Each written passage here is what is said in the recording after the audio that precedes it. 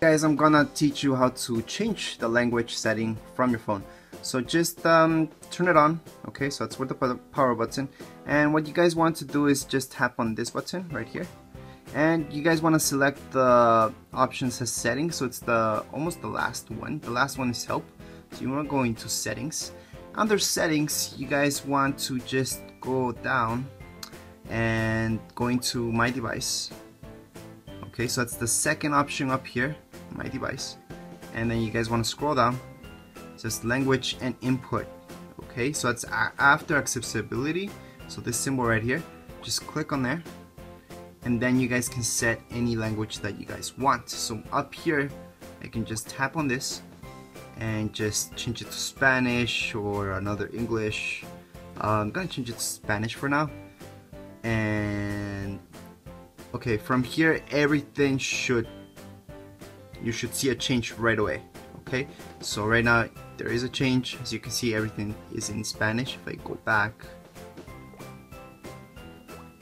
everything should change okay? So correo electrónico camera all that stuff is in Spanish now. Some things don't translate such as Galaxy apps Play Store Play Store's Play Store and that's about it.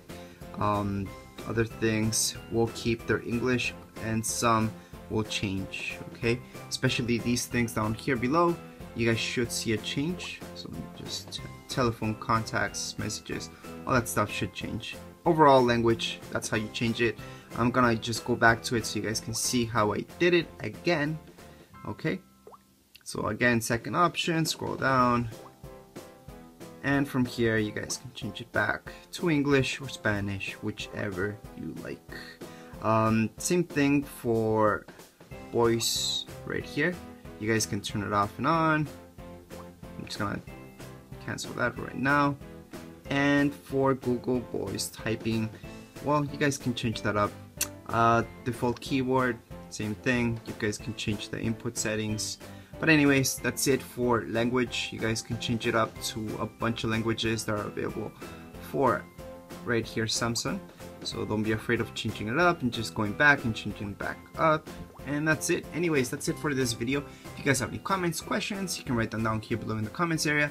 And don't forget to subscribe and rate. Thank you.